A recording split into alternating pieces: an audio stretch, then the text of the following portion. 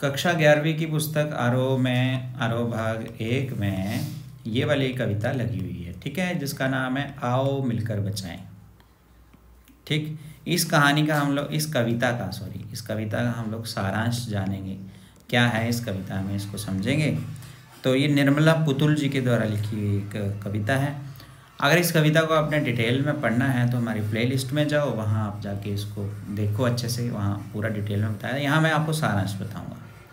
Channel के साथ आप जुड़े ही हैं, आपका बहुत धन्यवाद। अगर नहीं जुड़े हैं तो चैनल सब्सक्राइब कर लें और वीडियो को लास्ट तक देखें, तभी समझेंगे, ठीक है? तो यहाँ पर आओ मिलकर बचाएँ, ठीक है?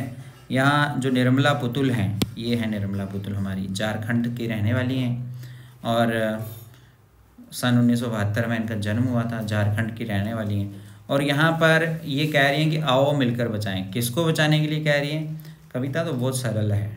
एकदम शब्दों में लिखी हुई है। किसको बचाने के लिए? अपनी बस्तियों को। नंगी होने से बचाएँ। और जो हमारी बस्तियाँ हैं ये ना आदिवासी समुदाय से बिलोंग करती हैं तो इन्होंने कहा है कि अपनी बस्तियों को हम बचाते हैं जब किससे? नंगी होने से। मतलब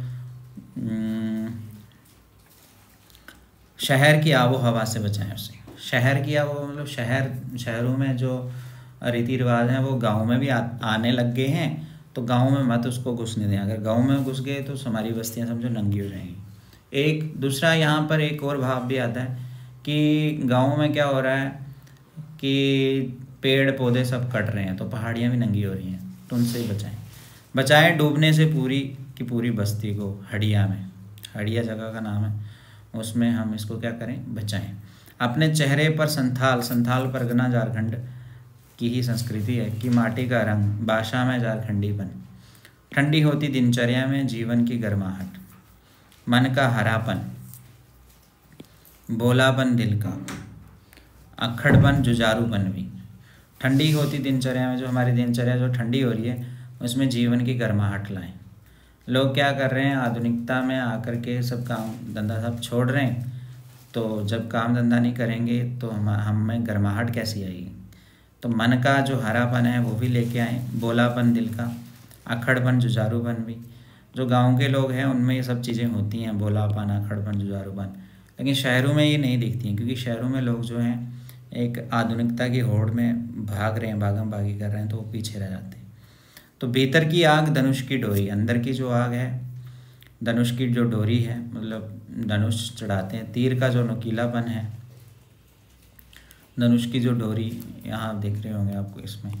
तो झारखंड के लोग जो है, धनुष का प्रयोग करते थे उन दिनों। तीर का नुकीलापन, कुल्हाड़ी की धार, जंगल की ताज़ा हवा, नदियों की निर्मलता, पहाड़ों का मौन, गीतों की धुन, मिट्टी का सौंदपन फ़सलों की लहलाहट, नाचने के लिए खुला आँगन, गाने के लिए गीत, देखिए सब सब ऐसे शब्द लिखे हुए हैं जिसमें कुछ भी आपको, ऐसा नहीं है कि आपको इसका पता ही नहीं है। रोने के लिए मुट्ठी भर एकांत चाहिए बच्चों के लिए मैदान, पशुओं के लिए हरी हरी घास, बूढ़ों के लिए पहाड़ों की शांति। और इस अविश्वास भरे दौर में थोड़ा सा विश्वास थोड़ी सी उम्मीद थोड़े से सपने। ठीक? और बाद में कहते हैं कि आओ मिलकर बचाएँ, इस, कि इस दौर में भी बचाने को अभी बहुत कुछ बचा है, अब भी हमारे पास। तो ये छोटी सी कविता है, जिसको आप पढ़ के ही समझ जाते हैं सारा का सारा। तो यही इसका सारांश है।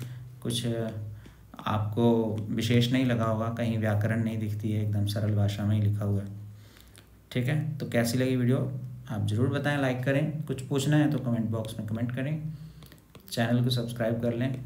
सभी कहानियों का सारांश मैं आपको यहाँ पर बता रहा हूँ। ठीक है? आगे वाली जो कविता है, उसके बारे में भी जानें, या ट्वेल्थ की जो भी बुक्स हैं, उनकी कविताएँ हैं, या उनकी कहानियाँ, वो भी आप हमारे इस चैनल पे देख सकते हैं। धन्यवाद।